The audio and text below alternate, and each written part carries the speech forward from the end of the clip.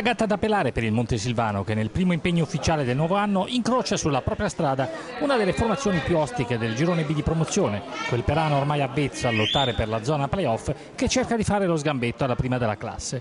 I ragazzi di Mister Dicencio, consapevoli di affrontare una vera e propria corazzata, cercano comunque di limitare i danni, anche se gli intendimenti della vigilia rischiano subito di finire alle ortiche, quando al nono Finamore intercetta il pallone in aria con un braccio, intervento subito sanzionato con la massima punizione dal direttore di gara.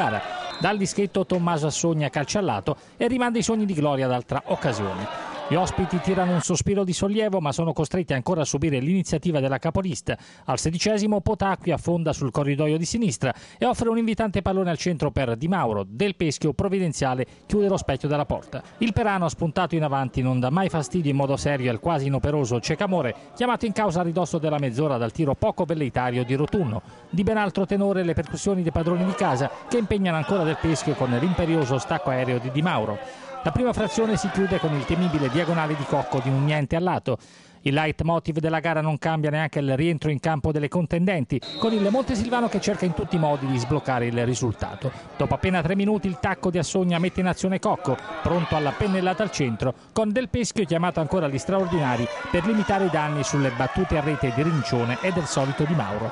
La Costanza alla fine premia il Montesilvano che riesce a sbloccare il risultato al sesto grazie a Rincione, abile ad incunearsi in area avversaria sul lancio filtrante di Cocco e a perforare la difesa peranese. La gara si chiude virtualmente al minuto 36 quando stavolta Cocco si trasforma in finalizzatore per un gol facile facile a porta sguarnita. Buono nell'occasione il suggerimento di Di Mauro. Il tris che mette al tappeto i peranesi si concretizza al 38 quando Del Peschio chiede troppo ai suoi piedi e consegna un maldestro regalo all'appostato a Sogna che non si fa pregare andando a bersaglio per il definitivo 3-0. Sandro Spadafora, tecnico del Montesilvano, è una partita che non ha tradito le attese.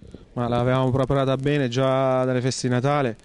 Non a caso i ragazzi sono impegnati, tutti si sono impegnati, abbiamo in questi giorni abbiamo fatto doppie sedute fino al 31, non c'è stata un'assenza, basta dire questo.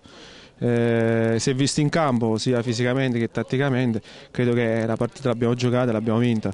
Eh, Perano è stata brava nei primi minuti, eh, nel primo tempo a, a mantenere il risultato, però penso che anche nel primo eh, avevamo Abbiamo, abbiamo, dimostrato di, di, poter sbloccare questa partita.